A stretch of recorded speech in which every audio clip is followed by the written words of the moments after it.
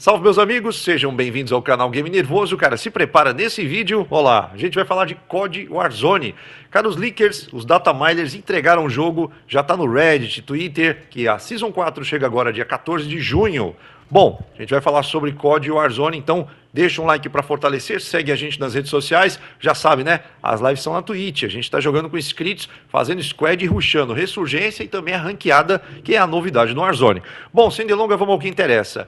A Season 4 chega agora dia 14 de junho, vai trazer um novo Battle Pass, novas recompensas, skins, armas e também, o que mais importa, o novo mapa, né? Vai estar tá rolando um novo mapa para Ressurgência, chama-se Vondel e vai se passar na Holanda. Também vai chegar um desafio de camuflagens, né? Muitas informações vazadas e adições ao patch. Algumas talvez sejam para Season Reload, a Mid-Season, e outras para agora, dia 14, a chegada da Season 4. Seguinte, é, algumas informações vazaram é, alguns dias atrás, dando conta do MW3 que vai chegar em dezembro e de atualizações que vão chegar para o MW2 e DMZ ao longo do ano. E uma das coisas a gente já teve concretizadas, que é a chegada de dois novos operadores, o Alex e também o Kevin Duran. Outras são dois novos operadores que chegaram hoje, é o Nick Marks e o Team Detachment. Vazamentos passados apontaram que iam chegar duas novas armas durante a Season Reload, essa última, e iam ser a Intervention e Tech 9. Agora a gente tem três novas armas que vão chegar no início da Season 4. No entanto, nos vazamentos não diz quais são. A gente fica aqui na expectativa. E fora os vazamentos que ainda estão para chegar e se concretizar, a gente tem coisa que já está valendo, que é o nerf na Cronen. Olha lá, essa arma aí. Ela aumentou o tempo entre os disparos no single shot, aumentou o recuo também no single shot, diminuiu o alcance nos dois modos e diminuiu o HS também nos dois modos.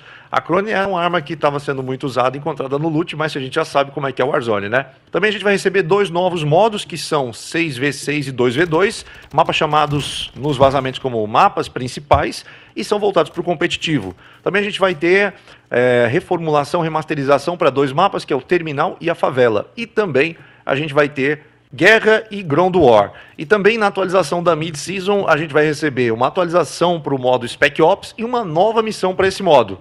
Legal, né? Cara, a gente tá de olho para tudo que acontece, tentando jogar ranqueada com amigos e também ressurgência, e tá dando bom, hein? Tamo juntando amigos na Twitch e ruxando nos adversários. Se gostou desse vídeo, deixa um like, segue a gente na Twitch. As lives já sabem, estão acontecendo na roxinha. O link tá na descrição. Vou ficando por aqui e volto na próxima. Um grande abraço. Fui! Aqui, aqui, aqui, aqui, aqui, aqui, aqui, aqui.